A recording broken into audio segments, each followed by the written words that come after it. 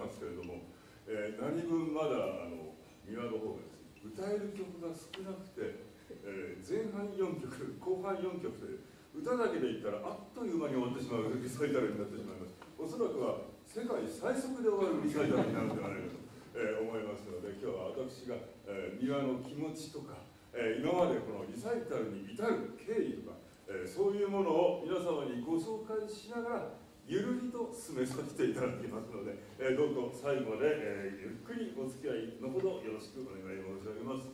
え、それでは皆様、え、早速始めさせていただくわけなんですけどまずはですねあの三輪絵里香さんのえ略歴を簡単に、え、ご紹介させていただきます。ほとんど、えー、皆さんのことをよくご存知の方、え、今日はお集まりでございますけれども、え、まあ初めての方もいらっしゃいますのでね一応ご紹介させていただきますが三輪絵里香さんは本来は、え、演出家そして翻訳家、え、脚本家俳優という職業でございます。歌とは全く別個の職業なんですね。えー、慶応大学を卒業なさいまして、えー、ロンドンに渡られました、えー、そこの、え、演劇科で、え、修士号を、え、取られましてその後、え、また、え、文化庁の、えー、派遣でまたイギリスに渡られ、えー、日本では珍しくこの王立演劇学校という素晴らしい学校を卒業なさいました、えー、そして、えー、ロイヤルオペラハウス、えー、コメントガーデンにございますねイギリスのそこで、えまたあのオペラの研修も受けられました、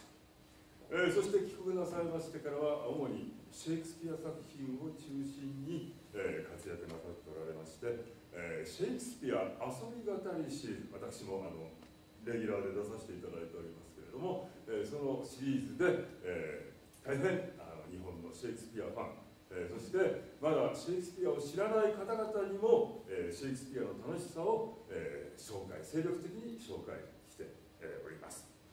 えそして、え今日はですね、えそのシェイクスピア遊び語りで、え歌うことになりそれ以来、え思い切って始めた声楽。その10年間の集大成を皆様に、えお聞きいただくわけでございます。えまあ私もあの声楽をなりわいとしておりまして、えー、声楽を習う大変さというのをね、えー、非常に身に染みて知っているわけなんでございますけれども、えー、本業でないことを10年間続けるということはねこれはあのあの似たような経験ご経験の方いらっしゃると思うんですけど大変なことでございまして、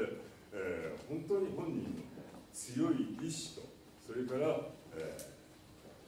芸術に対するこの深い愛情がなければなかなか続かないことだと思います。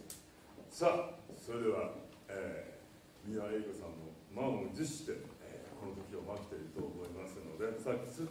1曲目、えー、ご紹介いたします、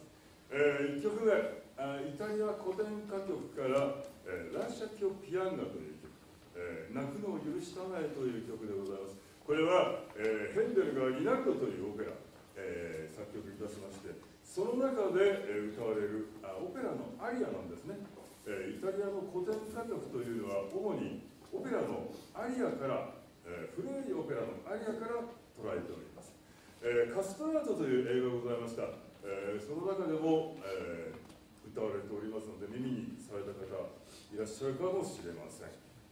えー、ピアノというのは、まあ、プログラムにもある通り泣くという意味英語で言うと cry になるわけですね、えー、で、えー、恋か人生か自由にならない我が身を嘆く気持ちは、い。つの時代にもありますねというのが宮さんからのメッセージでございます、え、歌詞の意味かいつまで申し上げますとこの残酷な運命。泣かずにはいられない。